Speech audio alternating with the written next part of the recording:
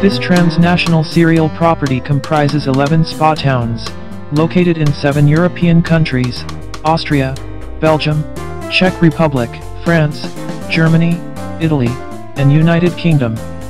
All of these towns developed around natural mineral water springs. They bear witness to the international European spa culture, that developed from the early 18th century to the 1930s, leading to the emergence of grand international resorts, that impacted urban typology around ensembles of spa buildings, such as baths, buildings, and rooms dedicated to therapy, pump rooms, drinking halls, colonnades and galleries, designed to harness the natural mineral water resources, and to allow their practical use for bathing and drinking.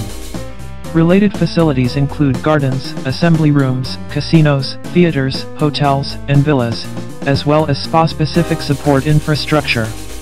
These ensembles are all integrated into an overall urban context, that includes a carefully managed recreational and therapeutic environment in a picturesque landscape.